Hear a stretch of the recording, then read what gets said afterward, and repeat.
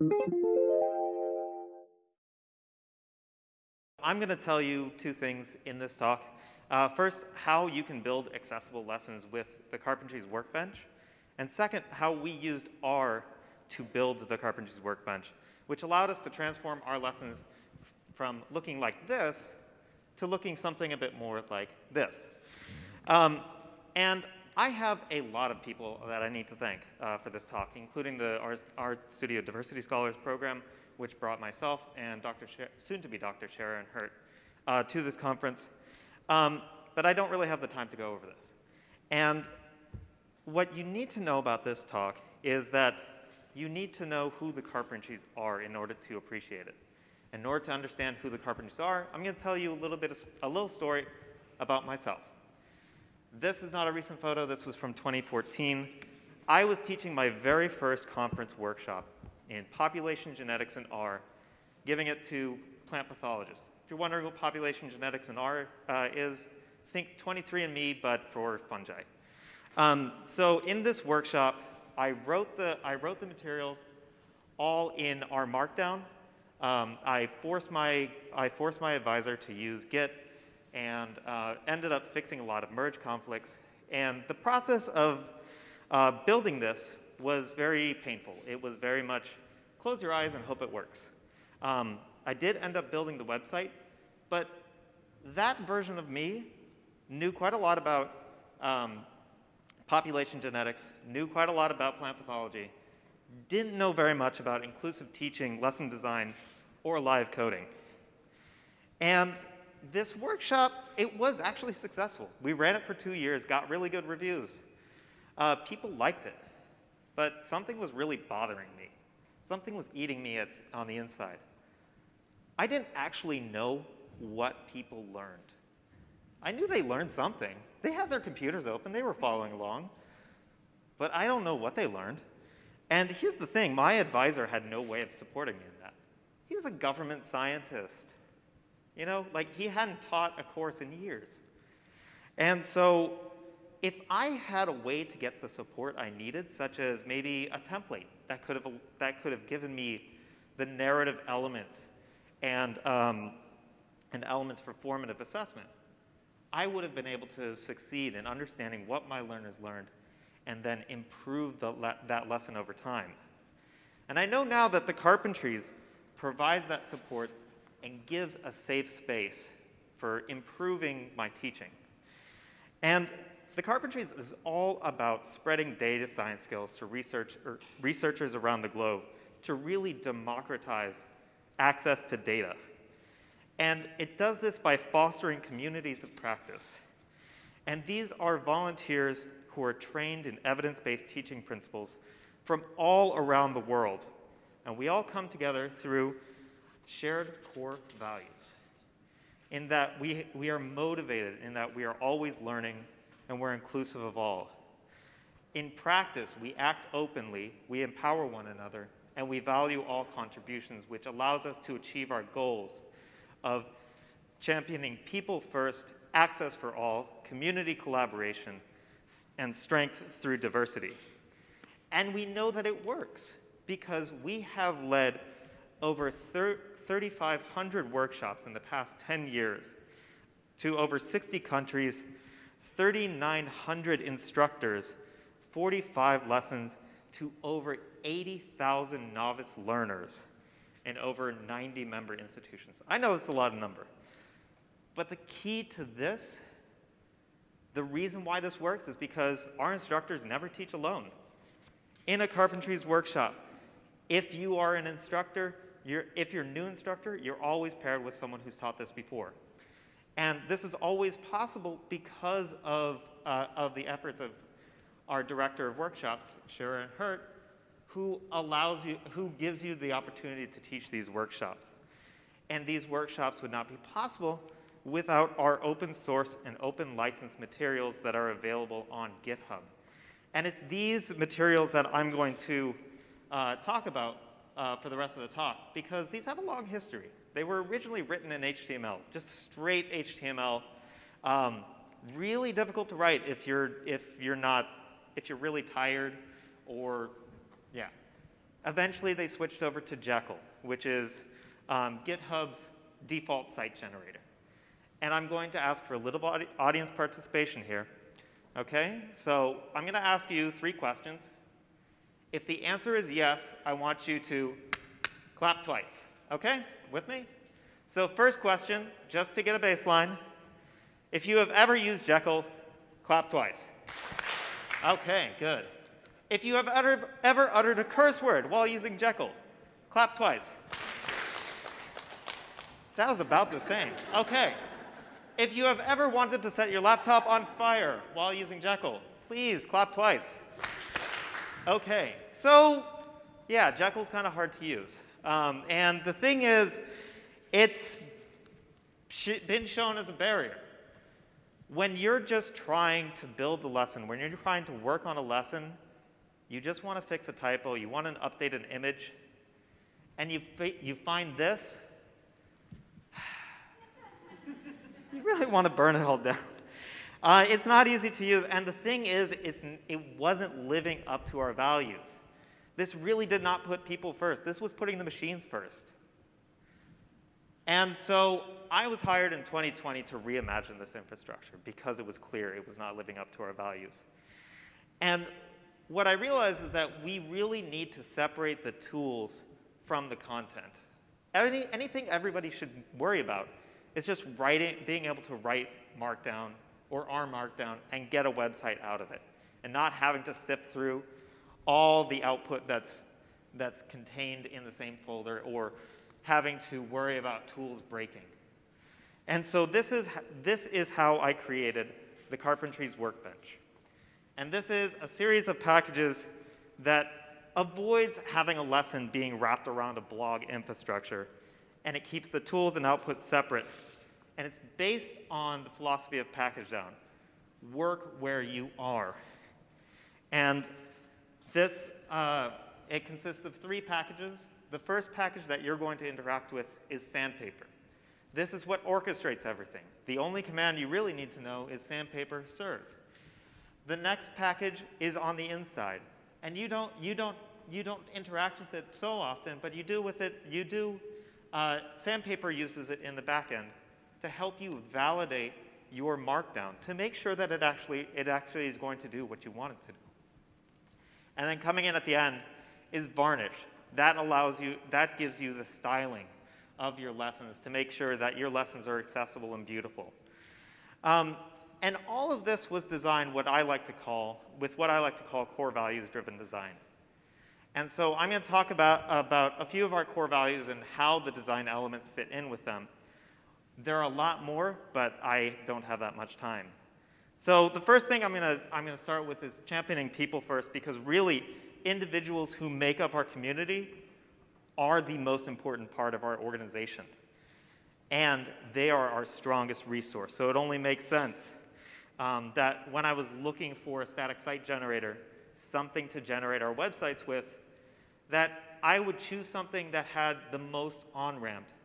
And really, R is the best resource.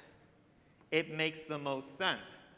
Uh, you saw it in Ileana's talk, and you see it here, and this tweet from Janita Bellini and she says that some people laugh when I tell them that R's best feature is its as a language is its community, but I'm very serious. Especially R-Ladies has been such a positive agent of change for so many people. And that's, that's one of the reasons why y'all are here.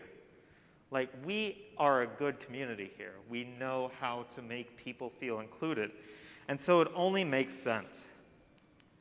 Another way that we're, we're championing people first is that we virtually increase the number of instructors in the room when you're teaching a lesson. And I'm going to explain what I mean by that. So you have your lesson, it has code examples, and you want to teach someone how to add a column to a data frame. Okay, so you, you are working in RStudio, and you show, you show them the code, you run the code, and then you have output that looks like this. You can't really tell what happened because there are so many columns in the data frame, everything ran off the edge if you were, if, if you had the wisdom of the instructors who came before you, and yes, you are teaching with another instructor, they may know this, but they may not, you would know that you have to, you have to add a select command. And so what we do is we allow instructors to communicate through time and space by, including, by allowing them to include instructor notes directly into the lessons in, in the context that, that it's needed. So that when you teach this lesson, you can change your behavior and you can show the learners what exactly they need to know and reduce their cognitive load. And another way we, we champion people first is that we include automation. Oftentimes, as you're building R Markdown, packages will update. Things fail. You get a lot of errors. You get warnings that don't make sense because the package authors change their, change their packages. We avoid this by uh, embedding renv, renv, sorry, in the, in the, uh, on the back end of Sandpaper. And the beauty about this, you don't need to know anything about renv in order to use this. We lock the packages, we give you a way to update them, and we give you a way to pin them uh, so that your lessons are always working and you have a way to investigate what happens when packages update. And I'm going to show you that, uh, some of that a little bit later. And really, this leads me into the fact that we champion access for all. Because it shouldn't matter what packages you have on your system. It shouldn't matter what packages you have in your global library. You should be able to build the lesson the same anyone else can build the lesson. And so I'm going, I'm going to show you like uh, what happens when you don't have your own computer, when you're not on your own computer and you receive a pull request that changes a plot. But can anybody tell me what's going to happen when this happens? Probably not, because it's, it's R code. But seeing the output of the plot is night and day. And we, we have embedded pull request previews for the intermediate markdown um, for these lessons so that you can confirm that things actually work whether or not you have the tools installed. And this is, and furthermore, if you're writing an R lesson, sometimes you may forget to, add, to include alternative text. Or you have, you have link descriptions that don't actually describe anything. And you say, whoops, and it's, it's this kind of, this kind of um, pre-flight validation that's done by Pegboard that allows you to, to take a step back and say, yeah, I made a mistake, and fix it.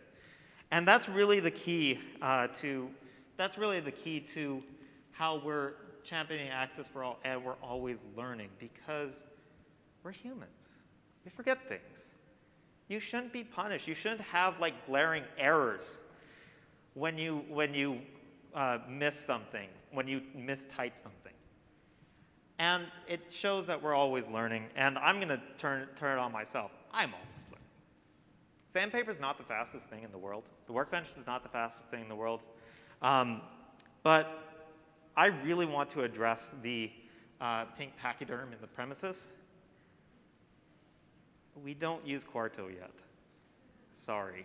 Um, but the way I designed the way I designed the system, we're going to include Quarto um, in the future. We just need to get it stable in our system.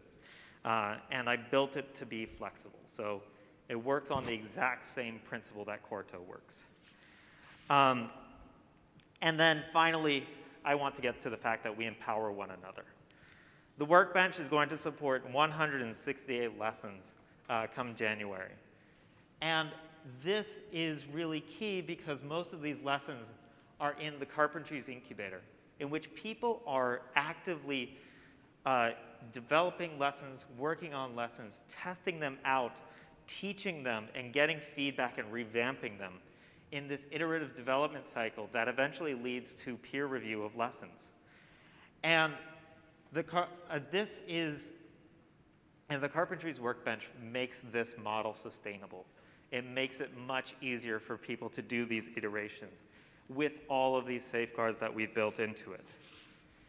And so it's here that I want to, I want to show you that it's not, I'm not the only one who thinks this. I'm not the only one who claims this.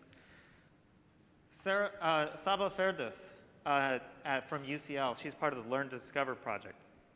She forked sandpaper and made it run Python. Okay? She, and she says that it was very trivial and efficient to write custom lessons with the Carpentries Workbench. I have a link there. My slides are online. I'll give you a QR code for that. Uh, Toby Hodges, he's the curriculum lead of the Carpentries. He works with the community. And he says the Carpentries Workbench has made it easier for people to write, maintain, and teach lessons in many different ways, sometimes quite profoundly. Sarah Stevens, very embedded in the Carpentries, and she says, I'm really excited to be able to use the Workbench's accessibility features because she's tired of not, of not having reminders to add alt text. And finally, Francois Michonneau has been working with the, with the Workbench since the beginning. And he says, you only have to focus on writing content, and the Workbench takes care of the rest.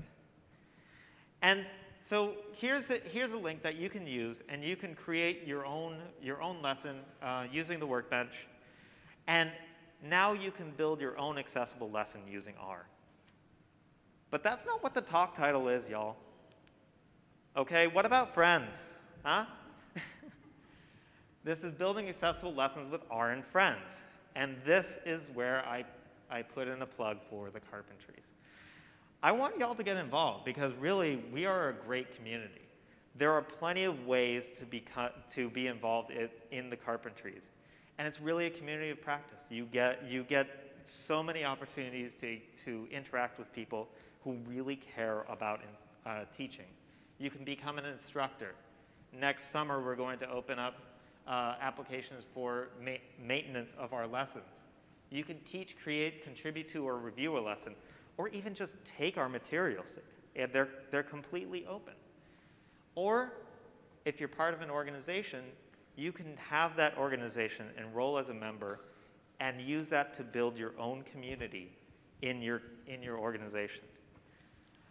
And that's, and if you want to know more, we have a conference that's happening right after this conference.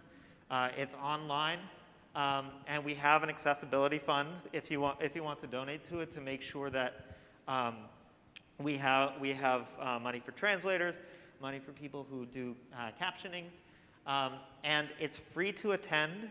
So if you want to learn more, uh, please attend. Uh, I have my slides. I have information about uh, the workbench. And I'd be happy to take any questions if I have time.